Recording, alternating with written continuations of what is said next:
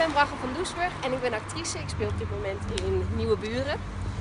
En ik zet me tijdens Sky Radio Christmas Tree for Charity in voor Edukans. En ik wil die kerstboom zo goed mogelijk optuigen, maar ik heb daarbij iemand nodig. En misschien wil jij me wel helpen.